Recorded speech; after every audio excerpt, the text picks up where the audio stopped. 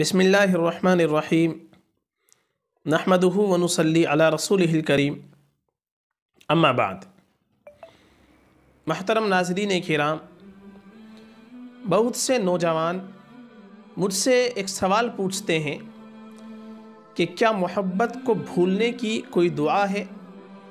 अगर है तो हमें मोहब्बत को भूलने की कोई दुआ बतला दीजिए।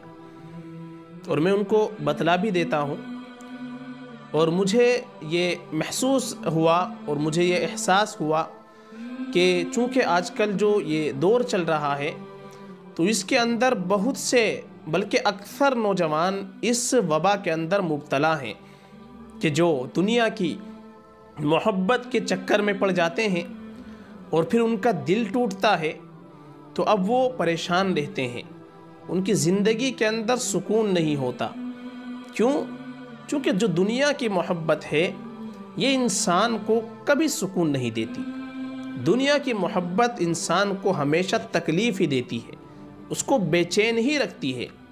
अगर सुकून किसी मोहब्बत में है तो वो सिर्फ़ और सिर्फ़ अल्लाह की मोहब्बत में है। दिलों को अगर इतमान नसीब होगा, दिलों को अगर सुकून मिलेगा तो वो सिर्फ़ अल्लाह की मोहब्बत में मिलेगा। दुनिया की मोहब्बत में ये दुनिया के लोगों की मोहब्बत में इंसान को कभी सुकून नहीं मिल सकता। चूँकि अल्लाह ताला ख़ुद कुरान में फ़रमाता है, अला बिदिक्रिल्लाहि तत्मइन्नुल कि खूब अच्छे से सुन लो, अल्लाह के ज़िक्र ही से दिल मुतमिन होते हैं।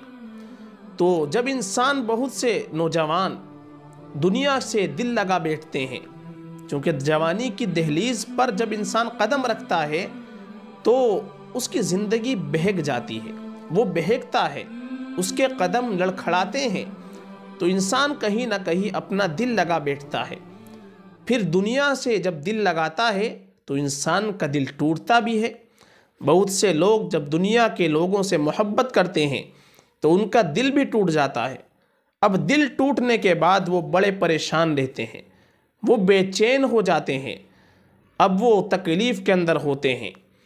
उसके लिए आज मैं एक दुआ बतलाने जा रहा हूँ, जो लोग मोहब्बत कर लेते हैं और मोहब्बत के बाद उनका दिल टूट जाता है और फिर वो बेचैन रहते हैं, परेशान रहते हैं, तकलीफ़ में होते हैं और वो मोहब्बत को भूलना चाहते हैं, लेकिन भूल नहीं पाते।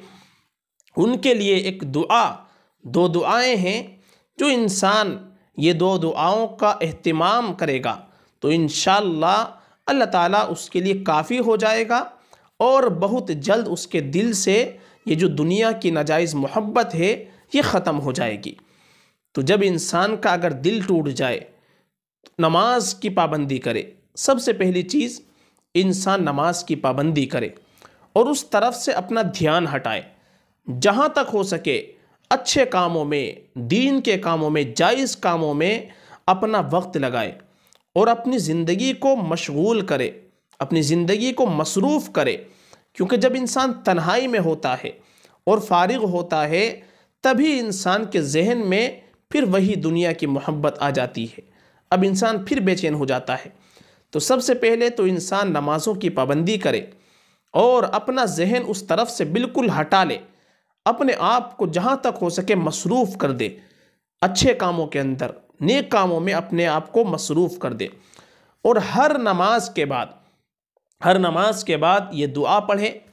अल्लाहुम्मा इन्नी असअलु का हुब्बा का वहुब्बा मन युहिब्बु का वहुब्बा अमलिन युकर्रिबु इला हुब्बी का एक दुआ ये है कि अल्लाह, इसका तर्जमा है, ए अल्लाह, मैं आपकी मोहब्बत चाहता हूँ। मैं आपकी मोहब्बत का सवाल करता हूँ और उस शख्स की मोहब्बत का सवाल करता हूँ जो तुझसे मोहब्बत करता हो। और ऐसे अमल की मोहब्बत का सवाल करता हूँ जो तेरी मोहब्बत के करीब कर दे। और एक दुआ है, अल्लाहुम्मा अला ज़िक्री का व शुक्री का व हुस्न इबादती ये दो दुआएँ हैं। हर नमाज़ के बाद जो शख्स ये दुआएँ पढ़ेगा तो उसके दिल से दुनिया की मोहब्बत ख़त्म हो जाएगी।